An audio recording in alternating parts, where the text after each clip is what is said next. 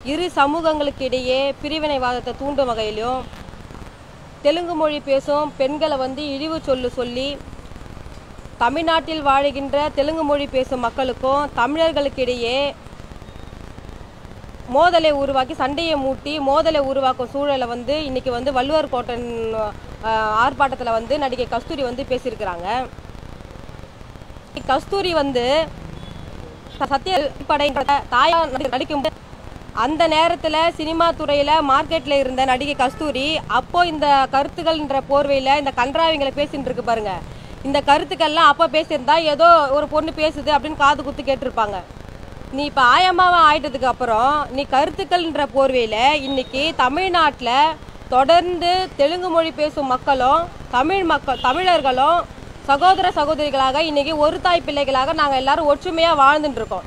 நடிகை கஸ்தூரியை பார்த்து நான் கேள்வி கேட்குறேன் ஆந்திராவில் இருபத்தோரு தமிழர்களை சுட்டு படுகொலை செய்யப்பட்ட போது நடிகை கஸ்தூரி நீ என்ன பண்ணிட்டு இருந்த ஈழத்தில் ஒன்றரை லட்சம் தமிழர்களை கொத்து கொத்தா கொன்று கூச்சு கூச்ச போதும் தன்னுடைய ஒரு த தந்தை முன்னா தந்தை முன்னாடியே மகளை கற்பழிக்கப்பட்ட போது கணவன் முன்னாடி மனைவி கற்பழிக்கப்பட்ட போது அண்ணன் அண்ணன் அண்ணன் முன்னாடி அக்கா தங்கைகள் கற்பழிக்கப்பட்ட போது கருவறையில் இருக்கக்கூடிய குழந்தைகளை கருவை அறுத்த போது கொத்து குண்டுகளை போட்டு என் குழந்தைகளை வந்து கொண்டு குவிக்க போட்டு குவிக்கப்பட்ட போது நடிகை கஸ்தூரி அந்த ஆண்டில் நீ என்ன பண்ணிட்டு இருந்த? அவுத்து போட்டு சினிமாவில் ஆடிட்டு இருந்த. அப்போல்லாம் உனக்கு பொத்துக்குன்னு வராத கோவம் இப்போ நான் தமிழச்சி அப்படின்னு நீ கேட்குற இந்த பிரச்சனைகளுக்கெல்லாம் எங்கள் தமிழ்நாட்டு மக்களுடைய பிரச்சனைகளுக்கோ எங்களோட வாழ் உரிமை பிரச்சனைக்கோ தொடர்ந்து களத்தில் நீ இப்போ யாரை இழிவு சொல்லி பேசனியோ அந்த மக்கள் தான் எங்களுக்கு தோளோடு தோளாக நின்று எங்களுக்கு தோல் கொடுத்து இந்த அடிப்படை பிரச்சனைகளுக்கும் உரிமைகளுக்கும் தொடர்ந்து போராடி சிறைக்கு செஞ்சுருந்தாங்க அப்போ நடிகை கஸ்தூரி எங்கே போயிருந்த? அவுத்து போட்டு ஆடிட்டு இருந்த சினிமாவில் இப்போ தமிழச்சின்றப்ப நீ த இப்போ நீ இந்த உரிமைகளுக்காகலாம் நீ போராடாத நீ தமிழச்சியா? கனிம வள கனிம வளங்கள்லாம் கொ கொள்ளையடிக்கப்பட்ட போது அண்டை மாநிலத்தவர் இங்கே தமிழ்நாட்டில் உள்ள எங்களுடைய தமிழர்களுடைய வேலை வாய்ப்பெல்லாம் பறிக்கப்பட்ட போது தொடர்ந்து இந்த மண்ணில் தமிழர்களாக நாங்கள் போராடிட்டு இருக்கோம். எங்கள் கூட தோளோடு தோல் கொடுத்து இன்னைக்கு தெலுங்கு மொழி பேசுகிறவங்க இன்னைக்கு தொடர்ந்து எங்க கூட களத்தில் நின்று போராடி சிறைக்கு சென்றுட்டு இருக்காங்க. அப்போ அந்த காலத்தில் நீ வந்து நடிகை கஸ்தூரி வந்து நீ என்ன பண்ணிட்டு இருந்த? அதை முதல்ல யோசிக்கணும். சமீப காலத்தில் பார்த்தீங்கன்னா தெலுங்கு மொழி பேச மக்களை வந்து அண்ணன் சீமான் அவர்கள் கூட அருந்ததிய மக்கள் வந்து தெலுங்கு மொழி பேசுகிறவங்க அவங்க ஆந்திரால இருந்து தமிழ்நாட்டுக்கு மலமலை தான் வந்தாங்கன்னு அவர் ஒரு இழிவாக இழிவா அந்த ம- மக்களை வந்து பேசினார். அதுக்கு காவல்துறையில் புகார் கொடுக்கப்பட்டு அது வழக்கு பதிவு செய்யப்பட்டு நடவடிக்கை மேற்கொண்டாங்க. அதே மாதிரி தான் சீமான் பேச்சு எப்படி இருக்கோ சீமானுடைய கருத்து போல தான் இன்னைக்கு நடிகை கஸ்தூரி வந்து பேசிட்டு இருக்காங்க. சீமானுடைய கருத்தோ நடிகை கஸ்தூரியுடைய கருத்தோ ஒரே ஒரே மாதிரி தான் இருக்கு.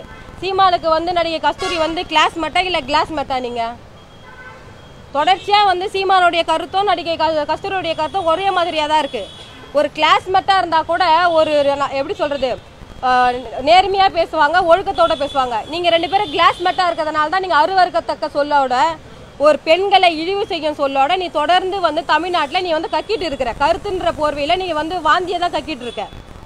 அதனால் இன்றைக்கி வந்து சென்னை பெருநகர ஆணையர் அலுவலகத்தில் வந்து நடிகை கஸ்தூரி மீது வந்து தமிழ்நாட்டில் வந்து ஒற்றுமையாக இருக்கக்கூடிய தெலுங்கு மொழி பேசுகிறவங்களையும் தமிழர்களுக்கு இடையே வந்து பிரிவினைவாதத்தை தூண்டி சண்டையை மூட்டி இங்கே வந்து பொது அமைதி அமைதிக்கு வந்து குங்க குங்- குந்தகம் விளைவிக்கிற அளவுக்கு வந்து நடிகை கஸ்தூரி வந்து ஒரு ஆர்ப்பாட்டத்தில் பேசியிருக்கிறத கண்டித்து இன்னைக்கு அவங்க மீது நடவடிக்கை எடுக்கணும்னு நாங்கள் காவல்துறைக்கிட்ட புகார் கொடுத்துருக்கோம். பொது அமைதியை நிலைநாட்டணும். காவல்துறை வந்து கஸ்தூரி மீது வந்து நடவடிக்கை எடுப்பாங்கன்னு நாங்கள் புகார் கொடுத்துட்டு வந்திருக்கிறோம்.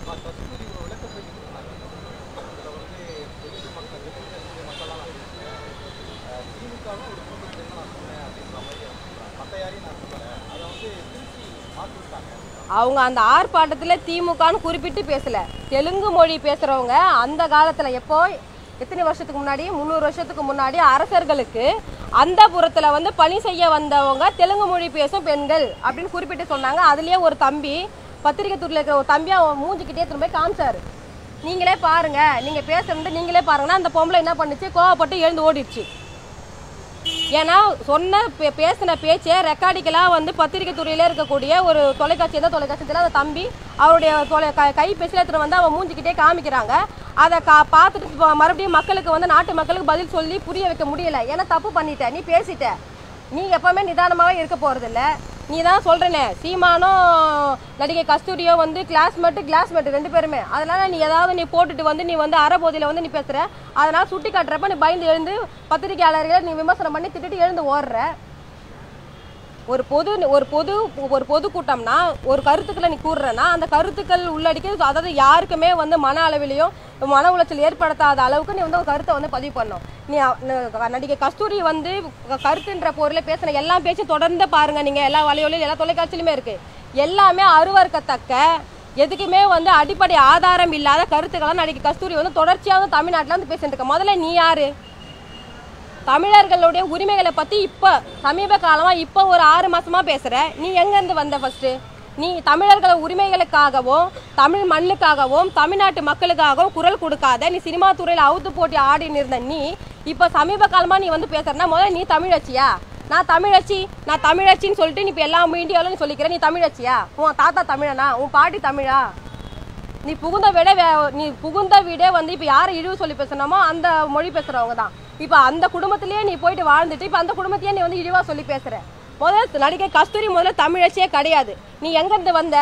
எங்கேருந்து வந்த நீ ஃபஸ்ட்டு நீ அது மட்டும் இல்லாமல் இன்றைக்கி தமிழ்நாட்டில் வந்து நீ குந்தக வீரர்கள் எல்லாருக்குமே வந்து சண்டை மூட்டி விட்டு இங்கே வந்து சட்ட ஒழுங்கு சீர்குலைக்க தானே இப்போ கலவரம் தானே மூலம். இப்போ தெலுங்கு மொழி பேசுகிறவங்களும் தமிழர்களும் இன்றைக்கி ஒற்றுமையாக வந்து அண்ணன் தம்பி உறவோடு இன்றைக்கி வாழ்ந்துட்டுருக்காங்க தமிழ்நாட்டில். பல லட்சம் தெலுங்கு மொழி பேசுகிறவங்க இன்னைக்கு தமிழ்நாட்டில் வாழ்ந்துட்டுருக்காங்க அப்போ தமிழர்களுக்குள்ளேயும் தெலுங்கு மொழி பேசுகிறவங்களுக்குள்ளேயும் நீ சண்டையை மூட்டுற வேலையை தானே பாக்குறப்ப உனக்கு யார் பின்புலத்தில் இருந்து இதெல்லாம் சொல்லிக் கொடுக்குறது? இதே இதே கருத்துக்களை தான் நான் அண்ணன் சீமான் அவர்களும் சொல்லிட்டு இருக்காரு. அவர் மீது வழக்கும் பதிவு செய்யப்பட்டு நடவடிக்கை மேற்கொண்டு இருக்காங்க அரசு தமிழ் தமிழ்நாடு அரசும் காவல்துறையும். அப்போ தொடர்ச்சியாக நீங்கள் வந்தேரிகள் தெலுங்கு மொழி பேசுகிறவங்க மலமல்ல வந்தவங்க தொடர்ச்சியாக இது போல் ஒரு சமூகத்தை வந்து இழிவு சொல்லி பேசணும்னா உங்களுக்கு அந்த வாய் கொழுப்பு எங்கேருந்து வந்தது? அப்போ இதை அடக்கணும் தானே? இந்த மண்ணின் பூர்வீக குடி மர தமிழச்சி நான். நாங்களே எங்களை தமிழச்சின்னு நாங்கள் சொல்லிக்கல வெளியே. நீ யாரே வந்து தமிழச்சின்னு சொல்கிற நீ முதல்ல எங்கேருந்து வந்த? நீயே சொல்கிற நம்ம மீ- மைக் முன்னாடி? எங்களை வந்து குடிகாரின்னு சொல்கிறாங்க எங்களை வந்து மாமின்னு சொல்கிறாங்க எங்களை ஊர்கான்னு சொல்கிறாங்க சாம்பார் சாதம் தயிர் சாதம்னு சொல்கிறாங்க நீயே சொல்கிற அப்போ உன்னுடைய அடையாளத்தை நீயே வந்து வெளிப்படுத்துகிற அப்போ நீ யாருன்னு தெரியுதுல? உனக்கும் தமிழர்களுடைய கல்ச்சருக்கும் பா- பா- பாரம்பரியத்துக்கும் கலாச்சாரத்துக்கு என்ன சம்மந்தம் இருக்குது நீ யார் ஃபஸ்ட்டு பெண்கள் நீயே ஒரு பெண்ணு. ஒரு பெண்ணை பற்றி இன்னொரு பெண்ணு இழிவாக சொல்லி பேசலாமா?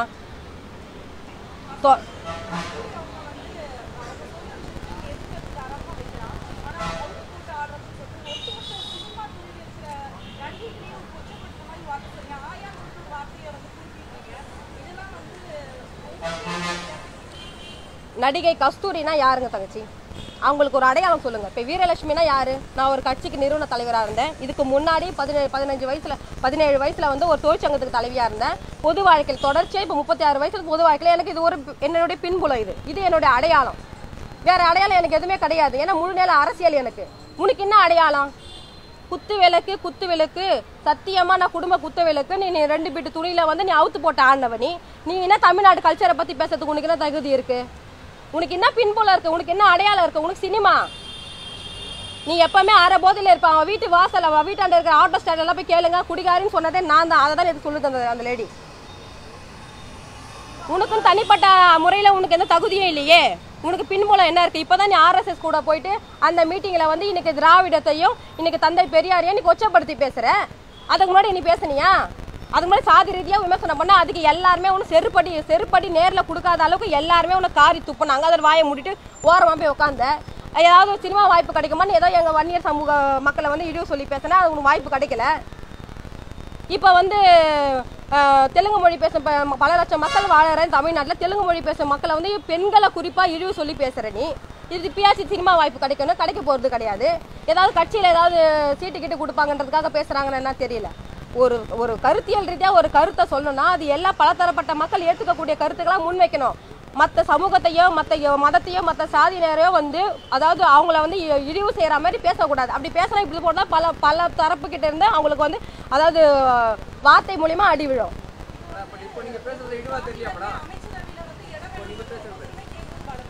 அதே மாதிரி தான் வந்து தங்களுடைய ப- பிராமண சமூகத்துக்கு ஏன் அமைச்சரவையில இடம் கொடுத்து உரிமை சார்ந்த விஷயமா அவங்க முன்வைச்சாங்க. எதுங்க உரிமை?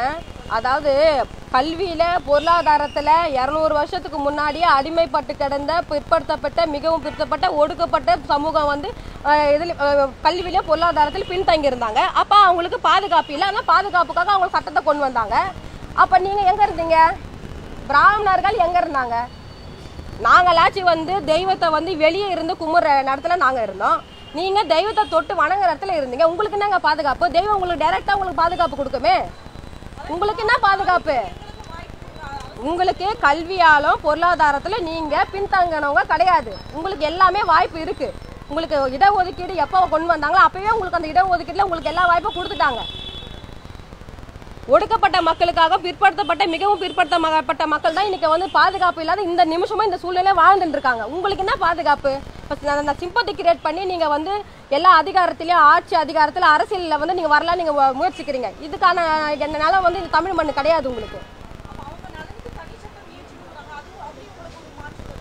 அவங்களுக்கு என்ன தனி சட்டை? இப்போ அவங்க பொருளாதாரத்தில் பின்தங்கி இருக்காங்களா? எதுவுமே கிடையாது. இப்போ நான் என்ன கேட்குறேன்னா இன்னைக்கு நடிகை கஸ்தூரி வந்து நான் தமிழச்சின்னு சொல்கிறாங்க சரி ஓகே நான் தமிழச்சியை நான் ஒத்துக்கிறேன். அப்போ அந்த கஸ்தூரிக்கு நான் ஒரு கேள்வியை முன்வைக்கிறேன். எல்லா ஆலயங்களிலும் தமிழ் தமிழில் வந்து தெய்வத்தை வந்து வழிபடணும். நான் சொல்கிறேன் கஸ்தூரி சொல்வாங்களா?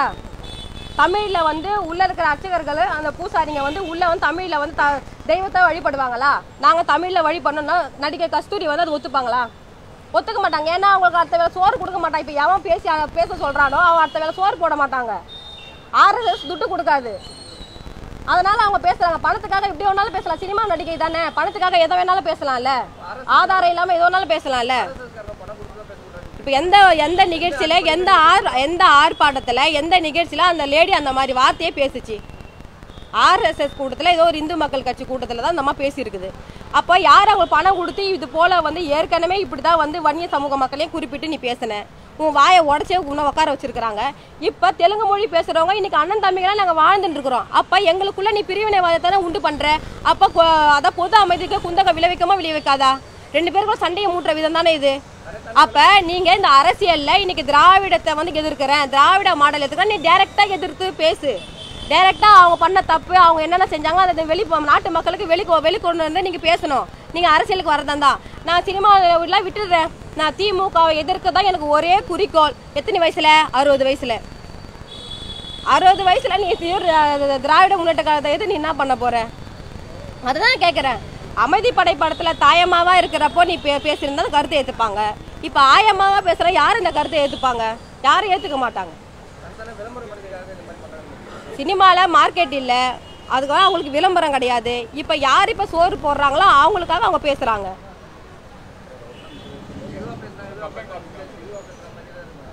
நான் எதுவும் இழிவா எதுவும் பேசலையே. ஏங்க சினிமா நடிகை சினிமா சி- நான் பொதுவா நான் பொதுவா அனைத்து நான் பொதுவா சொல்லல. நடிகை கஸ்தூரி சினிமால அவங்க அவுத்து போட்டு ஆடுறாங்கன்னு தான் நான் சொன்னேன் கண்டி மொத்த மொத்த சினிமா நடிகைங்களை நான் சொல்லலை. அதாவது அந்த காலத்தில் சினிமா சினிமா துறையா இருந்துச்சு. இப்போ சினிமா துறையா இல்லைல்ல. இன்னைக்கு இளைஞர்கள் இன்னைக்கு எல்லாருமே இன்னைக்கு கெட்டு குடிச்சவராகிறாங்க ஆகுறாங்க ஆகுறாங்க இன்னைக்கு பெண் குழந்தைகள் இன்னைக்கு வந்து பாலியல் ரீதியாக இன்னைக்கு சீண்டப்படுறாங்க. அதுக்குள்ள என்ன காரணம்? சினிமா துறை தானே காரணம். அப்போ நடி நடிகை கஸ்தூரி போன்றவர்கள் மூலமாக தானே அவுத்து போட்டு இன்னைக்கு சினிமா துறையை கெட்டு போய்க்குது. இன்னைக்கு இளைஞர்களும் கெட்டு போயிருக்கிறாங்க. அதை குறிப்பிட்டு தான் சொன்னேன் நான்.